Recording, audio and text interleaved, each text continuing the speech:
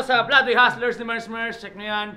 Sa 639 Clothing ni Boss Robert, Christina Mariskaway, Koshiwear, El Patron Resto Bar, Just Xlas Clothing, Pastry Vapors, Bloodway Hustlers, Cargisha Man's Best Friend de Lima, Schengen Showmay ni MJC, Swag Fits, sa Tiba Clothing, sa media partners namin, AM Films, pati Dalayo Studio. Maraming maraming salamat. Yeah. Yo, pero laban sa kanan, galing pang Taytay Rizal para sa inyo, magingay para kay Okram!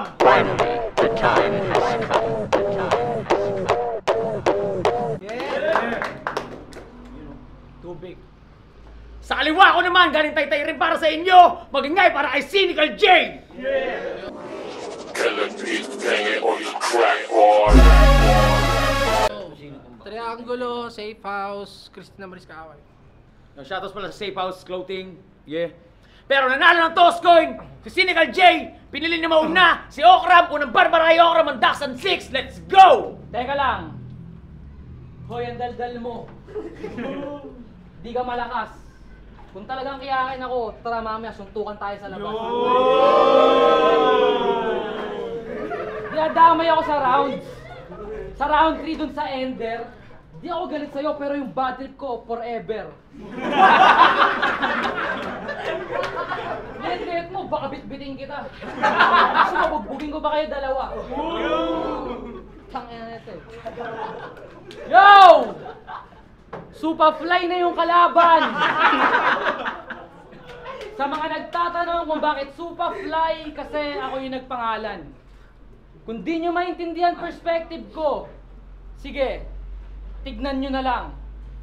Siya si Supafly na galing taytay na ang tanging babae ay si Ellen lang yung nai-impress. Mabuti sana ko yung Supafly na star kaso ang binigay yung Supafly na mukhang depressed. Supafly ang puta. Can't fuck with this fucking clown. Gago, hindi kasi Supafly. Ikaw si Supa down. Kaya ka lang naging fly kasi you just run and flee. Kung si Supafly, answer the G. Ikaw Supafly na walang hygiene. Tang ina mo. Ina mo ang itsura mo. Nakakadiri. Kung sa akin, ilong lang sa'yo, buong katawan mukhang tite. Baka di bagka, baka di bagka sa laban namin ni Sisig? Talaga? Ulol, iyakin ka lang at uhugin. Kung body ka na sa akin nun, ibig sabihin lang, pangalawang beses na kita ngayon dudurugin. Pangalawang beses na kita ngayon dudurugin. Ramda... Body bag agad si Jake, porke nadamay siya ng dalawang beses. Ramdam agad ni Jake yung heartbreak, di ko pa nakakantot si Bea Binene. Kaya Jake, may pagkakataon ka pa para umatras. Kasi wala kang ibang sasapitin sa akin, Jake! Puro bargas! Battle rapper ka pero Battle rapper ka pero namamahalan ka sa presyo ng tricycle. Hardcore sabay ng babalya pero puro reklamo kapag sa pamasahe sinisingil. Alam mo kung anong solusyon dyan? Lakarin mo na lang. Para yung mga taba mo sa tiyan, eh matanggal naman. Unahin mo din yung sarili mo, hindi yung puro battle ka lang. Para yung utak mo, di na parang old school na chichirya kasi nawawalan na ng laman. Oh, bobo to. Magnanakaw ng linya. Yung ninakawan pang MC galing pa sa mismong kaliga. Ninakawan mo si Rafian. Josephine Bracken, bitch ng Rizal. Ulol, wala kang maloloko dito, tanga. Eh, mas bitch ka pa kay Josephine kasi tinira na nga ng iba tapos tinira mo pa. Ito yung mga example ng mga tao na galit sa sariling ugali. Titira niya sa iba, tapos gagawin niya din. Ganun ang estilo ni pare. Di niya inaamin, pero pinapakita niya sa atin. Di daw siya tanga, pero tanga siya. Anong pinagkaiba mo kay Dopes? Kaya mga ulol, mga wak, ang gumaya sa inyo, yun yung malabo. Dito pa lang ang bobobo nyo na, di nyo deserve sa malaking entablado. Ako, wala akong pake kahit manalo matalo. Gagawin ko to habang buhay kasi yung laro, aking sinasa puso. Kaya mapabattle o kanta, I'm gonna fucking do this shit till I die. Kahit makita mo on cam o kahit sa live, ganun pa din to even in real life.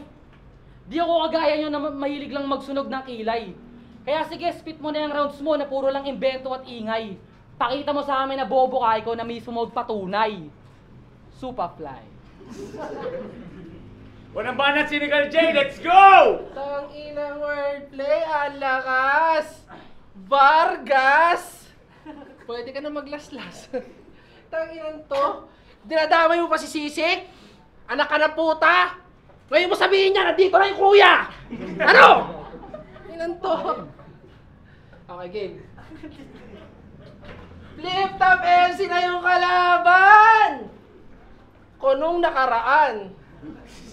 Tapos ngayon, si Okram na lang. Kingi na naman. Kaya humihingi na kagad ako ng pasensya sa mga madidismaya. Yung paghahanda ko ngayon, sobrang pilit, parang English niya. Raya din, no? Tangina kasi di talaga, wala talaga akong balak ang patulan.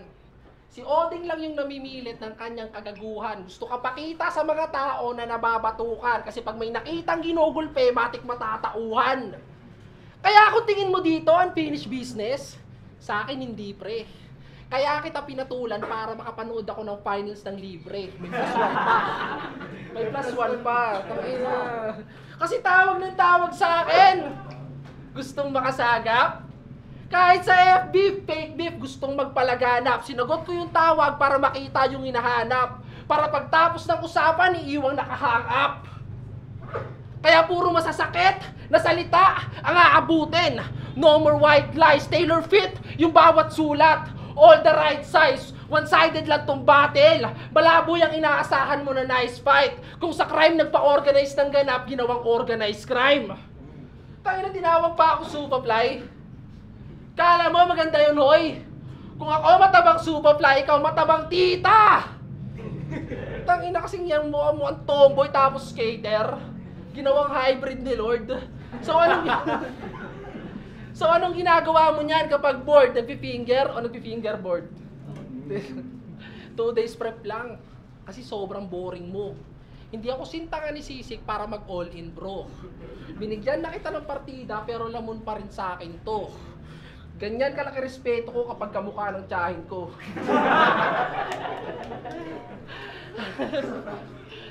Ah, p- pwede ka nang mamaalam. You can go now and play. Hindi ako mauuga sa mga gawa-gawa mo na shit. Ako na bahala mag-rep sa taytay. Just watch me and see. Total tinawag mo ako Superfly, you'll answer the G. Pangalawang banat, Okram, let's go! Tanginan to, tomboy pa din. Nakakabwisit. Gusto mo, palakihan tayo dito ng tite. Yo! Round 2! Talagang round around tong round ko, parang tiyan lang ni Jake. Magnanakaw siya ng linya, ganun siya ka-fake. He speaks about love while throwing some hate. Ganun karakter niya sa battle. Pero yung personality, ganun siya ka-fake. Na parang social climber na sumasahod lang ng minimum wage. Jake! Di ka MC. Kupal ka.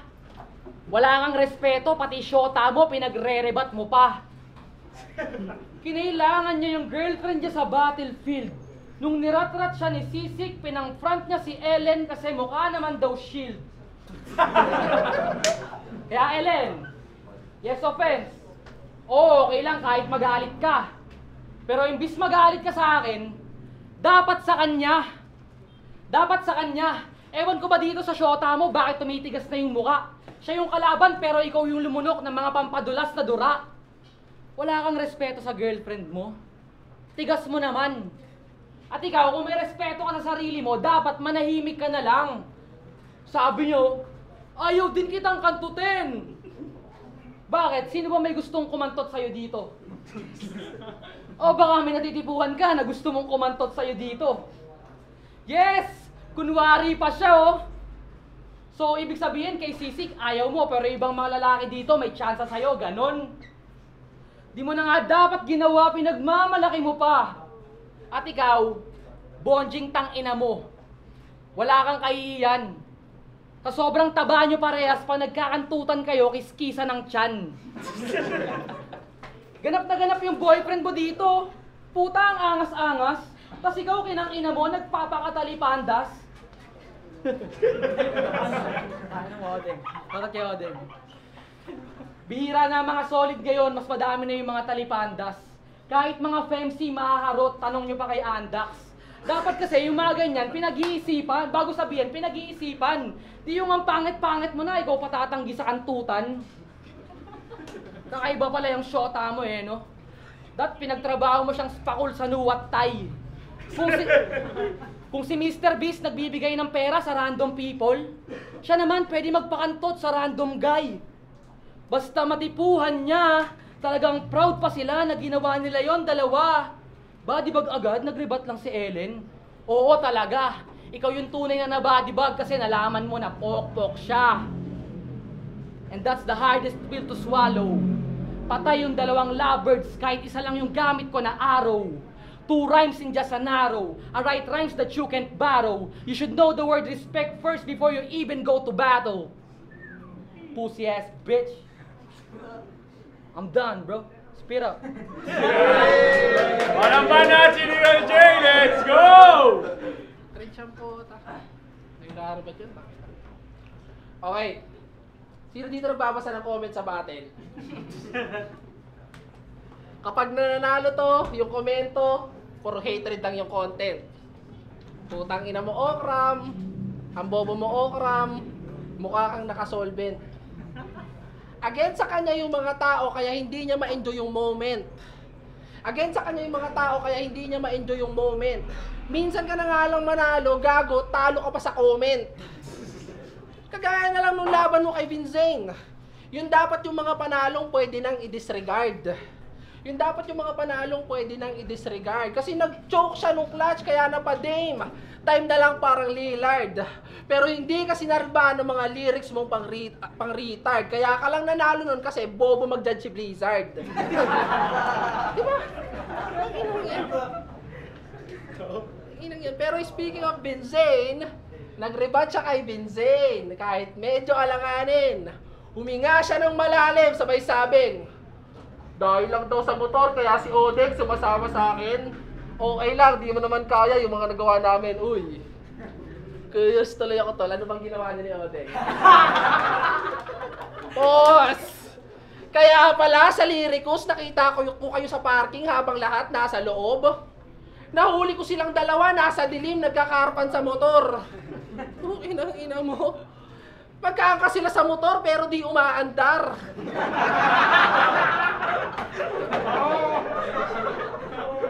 yung motor naka-center, yung motor gumagalaw kahit naka-center stand.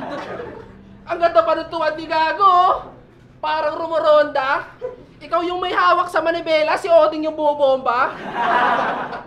Yan. Pero, pero enough of the gay jokes. Pag-usapan naman natin yung ilong mong parang ulo ng pawikan. Sobrang laki, parang malalaglag kapag kinapitan. Nakipagpagandahan ka pa ng ilong kay Sisik? Kala mo, astig yun? Eh, yung mga ilong niya, mas malaki pa sa ilong ni Lebron. Tanginang ilong yan ang puta. Parehas kayong pango, ah. Tapos nagawa niyong isalin yun sa sulat. Yung dalawang pango, nag-usap, eh, di pangungusap. De, joke. Tangina kasing ilong mo. Humihinga pa lang, hinihingal na. Kailangan mo pang hawakan para yung pagdaloy mapigilan niya. At sa susunod, ah, at alam ko sa susunod ko sasabihin, di ka, di ka malulugod. Kasi pag pinipindot ko yung ilong nito, tumutunog. Hit mo! Ang ina ka. At, alam ko may mga baon ka na pre-med. Lagi mo yan dala. Kaya panoorin natin ngayon, rating niya, sarili niya. Two minutes. Mga tumbanat, Okram, let's go! Sabi niya, yung ilong ko daw nalalaglag. Kahit kumapit ka pa. Pag nalaglag to, gago, kasama ka. Kapit! Oras na para turuan ng leksyon itong si Cynical Jackal. Pagpasok pa lang ng Bearman, ikaw agad yung una kong alay na isasabit kong parol. Dito unfinished business. Walang may atraso sa atin, tol. Pero kahit umatraso o mabante ka, pare, handa ako mambundol. Sa sobrang tanga mo, tinalo ka ni Epiteticos. Di ka pinagbigyan ng babae kasi kupal ka, boss. Hindi lang sa battle, pati yung itsura mukhang titing supot. Sa sobrang tangkad, kapag yumuyo ko, sa tiyan siya hukot. So paano yan, pag naging kuba ka? Tangina naman. Ay hindi! Kuba ka na pala, yung kuba mo nasa tiyan. Hindi niya na kaya tignan ng diretsyo kapag tinitigasan, kaya yung titi niya patagilid niya tignan. Hype to si Cynical, na natiling supot. Mukhang burat yung buong katawan pag tinanggal yung braids, parang bulbul yung buhok. Oo, burat din ako. Burat sa pagiging lyrically. Pero ang pinagkaiba natin, ang pinagkaiba ng pagkaburat natin, this dick ain't free. This dick ain't free. Kaya magpasalamat ka na nakalaban mo ako. Karangalan mo na to. Kasi ako, manalo matalo, wala akong mapapala sa'yo.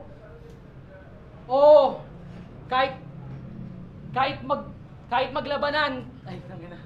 Oo, kahit sa sulatan o maglabanan o kahit pa magkalagutan. Kaya huwag kayong magreklamo sa performance ko kasi di nyo naman ako binabayaran. Di ba? Tama. Tama yun, men. Ano sumagot? Di ba? Sa sobrang tamad ko nga sa'yo, kahapon lang kita sinulatan. Bumabattle kasi ako para gumaling, hindi lang para sa kakupalan.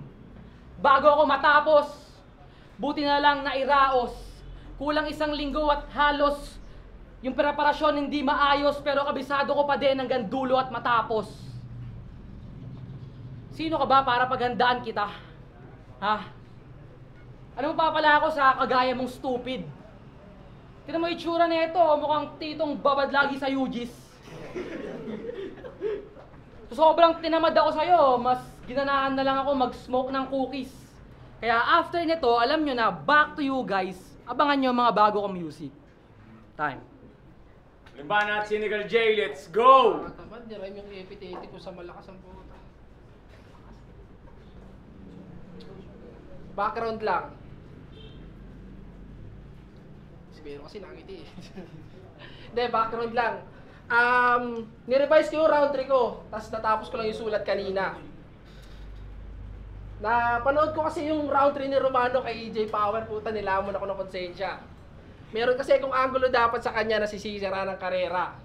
At alam kong totoo yun kasi galing mismo yun kay Rhea. Small world eh, no? Pero maiba. totoo yun. Pero maiba. Mapa-music o battle, basta usapan ay rap, tumanda ka na. Pero di mo pa rin kaya mag-multi. Gusto mo tularan ka pa? Tanginan to, kung iraray mo lang yung PCX sa panis, ba't lumalaban ka pa? Kung iraray mo lang yung PCX sa panis, ba't lumalaban ka pa? Putang ina kasi. Kung iraray mo lang yung PCX sa panis, ba't lumalaban ka pa? Ganto ka ba mo mag-ride ta sa FRBL, sumasampa pa? Ang ina nito, yung skills na meron ka, walang gusto gumaya, tanga. Sobrang, sobrang bobo na dito ni Okram, dupis, dumagdag ka pa. Ang inang yan. Kala ko pa naman yung rhymes nito, gumaganda na. Tap, tapos sa parehong battle, ni-rhyme niya yung mukha sa tanga, mukha kang tanga. Ang inang. Kasi nito eh. Ngayong pinagbigyan kita sa gusto mo na pagtugon, sa iyong bida-bida di ba malulugod sa paghukom? Banong sinali ba nila sa gutom ko ay nakatunog? Ngayong pinagbigyan kita yung, ah, ngayong binadibag kita yung gusto mo ay nasunod. Sa iyong sinabi ba nila ganito yung husay pagbukod? At nung dinali pa kita, ah putang ina mo. Ah, sa iyong sinabi ba nila ganito yung husay pagbukod? Tapos nung dinali na kita sa flow kung to kapalunod, ano, kinang inaiba sa gusto mong mapanood? Na yung realidad, di ba, ako humukay panlubog? Larong di kalidad lika sa iyo ko to papanood. Gago di lang ika-ika sa iyong tuhod ka paluhod. Gago di lang ika-ika sa iyong tuhod ka paluhod. Katong, ah, putang ina. Sa iyo, ah,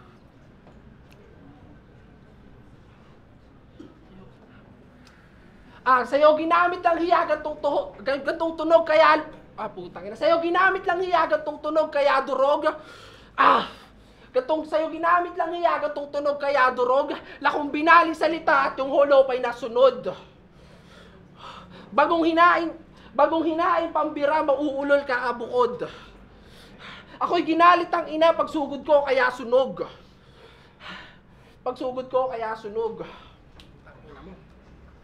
At nung ginalingan At nung ginalingan ng bira sa puso mo yung nagpatudog, akong pinaringgan din niya, ang bumugbog kaya tulog.